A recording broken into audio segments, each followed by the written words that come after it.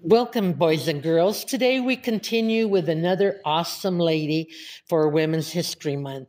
She is uh, a retired teacher from Las Vegas City Schools, and her name is Janie Chavez. And I know some of you graduates may have had her in school. But after graduating from Robertson High School herself in 1967, she attended New Mexico Highlands University, where she got her teaching degree. She taught in California for a few years, but New Mexico was calling her back. She got a teaching position at RHS, teaching business courses.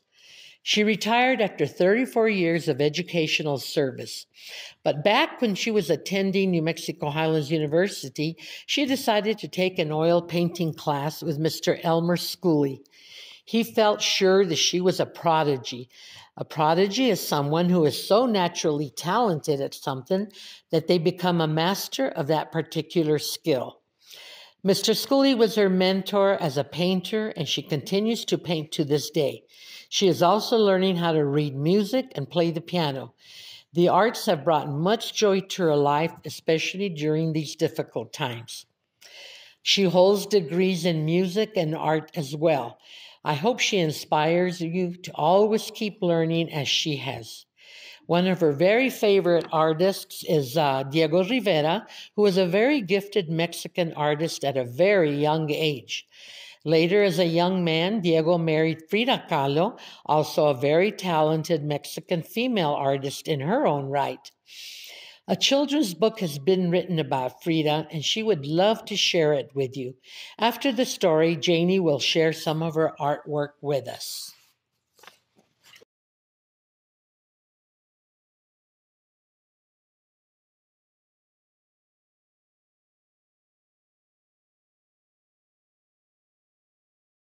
Hi, I'm Janie Chavez. Welcome to my little studio that my husband built for me. It's a place where I like to paint and hang as many paintings as I can. Uh, don't have a lot of wall space, but I try to put up as much as I possibly can. Um, some of the artists that I've been really uh, interested in, one was Diego Rivera when I was a young woman and starting my painting classes. I really loved the head of a woman that he had drawn with pencil. And I have a study of that right here that you'll be able to see in a little bit. And um, I also um, find out that he later married Frida Kahlo. This book was written by Silvia Lopez, and the illustrator is Lisa Chavarria. So I'm going to read this for you. I hope you enjoy it. She's a prolific painter, much like her husband, Diego Rivera, political painter. She also followed in his, um, his ambition to paint self portraits of herself and her life and what she went through, uh, the pain that she suffered as a child, and you'll learn about that through this book. I hope you enjoy it. Frida Kahlo was born on July 6, 1907, just outside of Mexico City in a blue house with green shutters. Her father, Guillermo, had built the house called La Casa Azul. For his wife, Matilda, uh, he had four daughters Matilda, Adriana, Frida, and little Christina. La Casa Azul's courtyard garden was perfect for exploring. Frida collected rocks, leaves, and insects. She wanted to be a doctor. Although at the time, girls were not always encouraged to study. One morning, Frida complained of a terrible pain in one leg. She had contracted polio, a disease that keeps muscles from growing properly. We now have a vaccine to prevent polio, but back then nothing could be done. Frida's leg became weak. She had to stay in bed for months. How boring! To entertain herself, she fogged up the window with her breath and drew a door with her finger. Then she pretended to fly out and go dancing with a secret friend. Polio left Frida with a limp, but she was strong and independent. Her father encouraged her to play sports, even wrestling. Guillermo was a photographer. He show he would shower her with lovely buildings and would show her show the buildings off and taught her about Mexico's beautiful art and history. He knew his daughter was smart. Frida was accepted to an excellent high school. There were more than 2,000 boys and only 35 girls. She was a good student, but she also was mischievous. Frida once sneaked a donkey into school and let it wander through the halls. One day, an artist named Diego Rivera came to the school to paint a mural. Frida began playing pranks. She stole Diego's lunch, she made noises behind his back, but she also loved watching him work. Her eyes sparkled beneath eyebrows shaped like raven wings.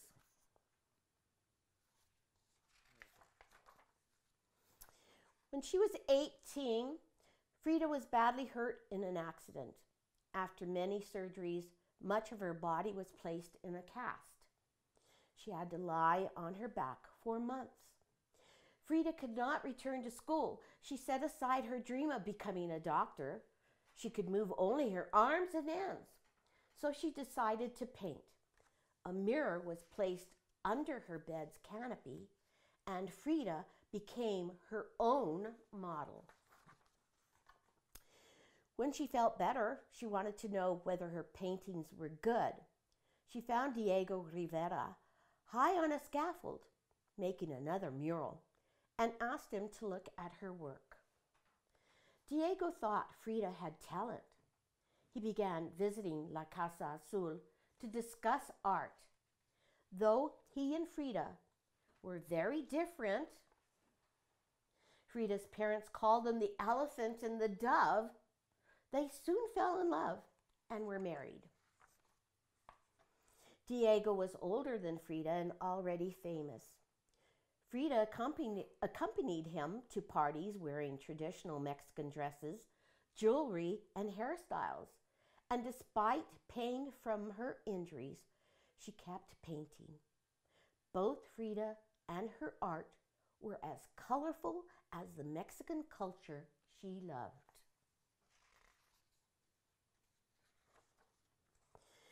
Frida and Diego traveled to several cities in the United States so Diego could paint murals. Frida was so homesick, her feelings came out in her art. One painting showed a dress floating in the air. This was her way of saying that although she lived in America, her heart was back home in Mexico. An exhibition of Frida's work in New York received a lot of attention. Later, the Louvre Museum in Paris bought one of her paintings, the first piece of art by a 20th century Mexican artist, in its collection. Frida had become world famous. Frida and Diego moved to La Casa Azul. She filled the house with things she loved ancient pottery, dolls, and lots of pets. There were rabbits, parrots, Mexican hairless dogs, a deer, an eagle, and a spider monkey named Fu Lang Chang. La Casa Azul was a lively place. Frida taught art to talented students, and she threw a party on every Mexican holiday. One day, Mexico City organized a show of Frida's paintings her doctor said she was too sick to attend. But Frida, dressed in her best outfit, hired an ambulance and had her bed brought from La Casa Azul to the show. She greeted her admirers lying down. Frida's health had never been good, but that didn't keep her from working every day. She made more self portraits. She also created beautiful paintings of her family and people she admired. Frida's last painting was of watermelons, red and green, like the Mexican flag. On one side, or slice, were the words Viva la vida, long live life. Frida Kahlo died in La Casa Azul on July 13, 1954. The home later became the Frida Kahlo Museum. Today, thousands of people visit La Casa Azul each year. Her house is still full of life. Frida would have liked that. I want to thank you for having me here to share my art and also this wonderful story of this prolific artist who was female and became famous. So, you know, we can all do what we dream we would like to do, even though it may not come out like we want it, but we always strive to do something that we love. Thank you. I'd like to say thank you to Mary Lou Griego. She has been an educator almost as long as I have. A very, very prolific young, should say young, she acts young lady. And I thank you very much for asking me to be here with you. Thank you. I'm going to share this oil painting. It was my very first painting done in 1975.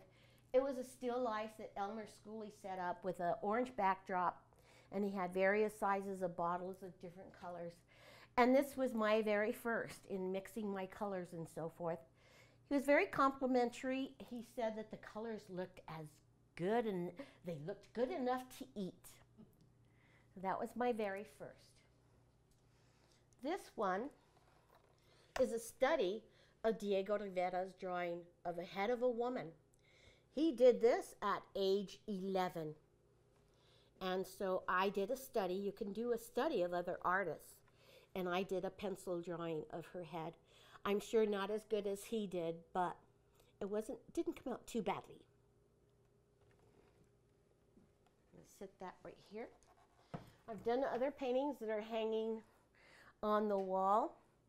Uh, this one, of course, was of, yes, I love animals as well.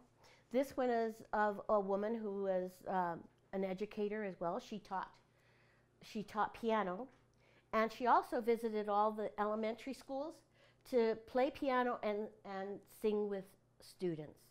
Her name was Louise Derlich. Bless her.